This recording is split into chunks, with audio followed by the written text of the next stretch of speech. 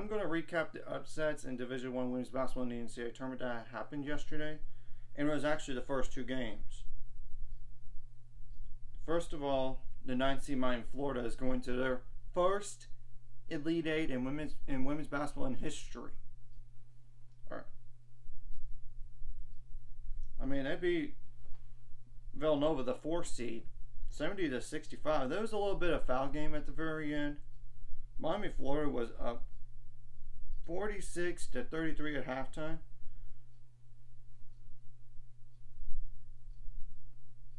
Sure, Miami, Florida only scored 11 points in this in the third quarter. 18. I mean, while Villanova had 18.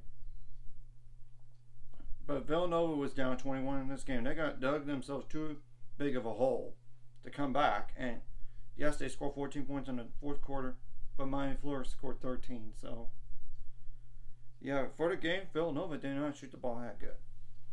36.5%. 23 for 63 overall. 2 for 16 on threes, 12.5%.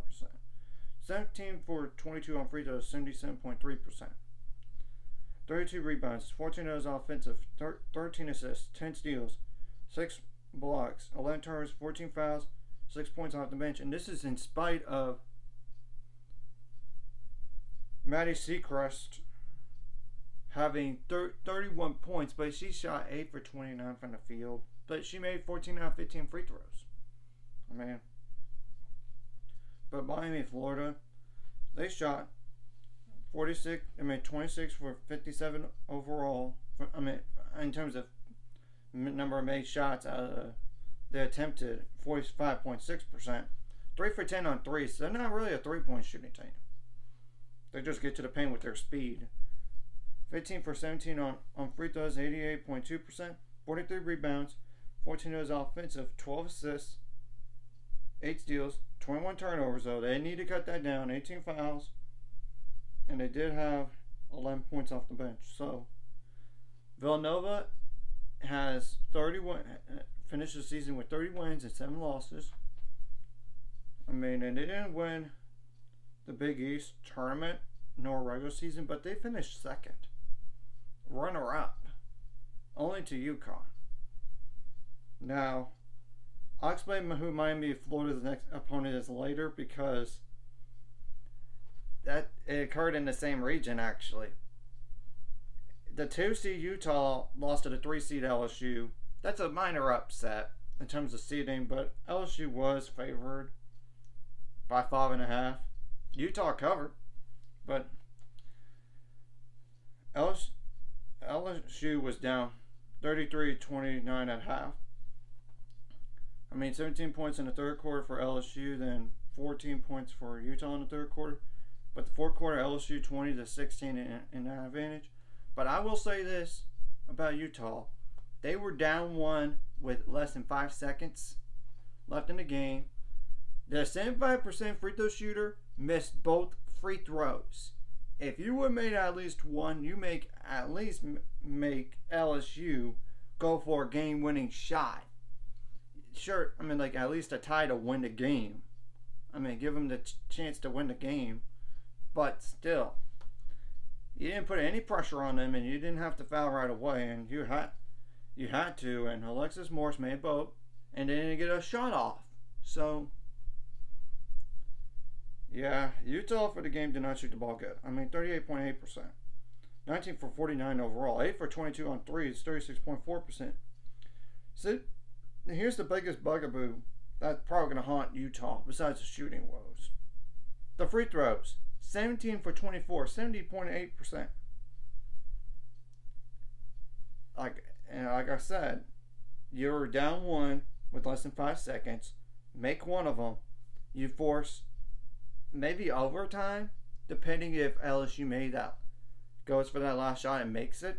But at least make them take a shot and not bail them out. And then you even airball that first free throw. So if you win both, you, you maybe you give yourself a chance to win, maybe, but still 31 rebounds, those offensive, 11 assists, nine steals, four blocks, 16 turnovers, 19 fouls, only three points off the bench. LSU had zero off the bench, and they still won the game.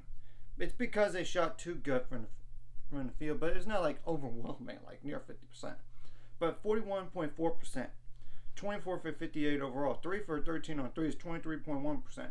They're not a three point shooting team. They're going to just get to the rim, post up.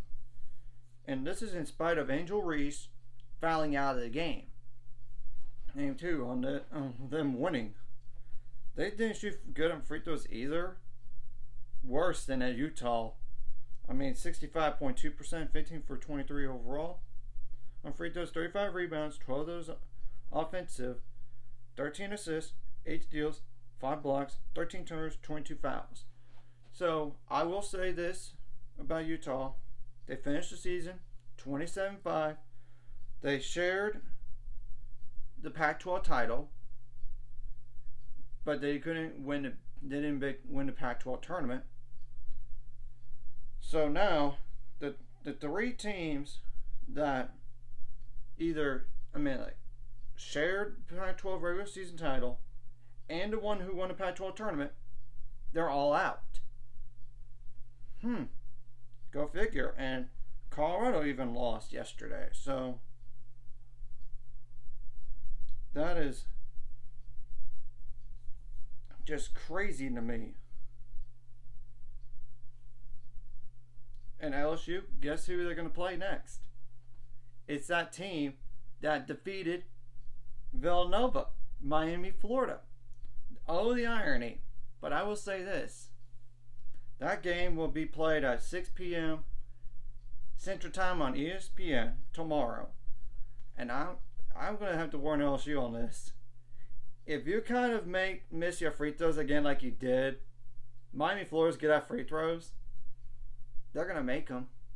I mean, it might hurt you. It almost hurt you in this game against Utah. I mean, I'm just telling the truth. Anyways, if you like this content, hit like and subscribe.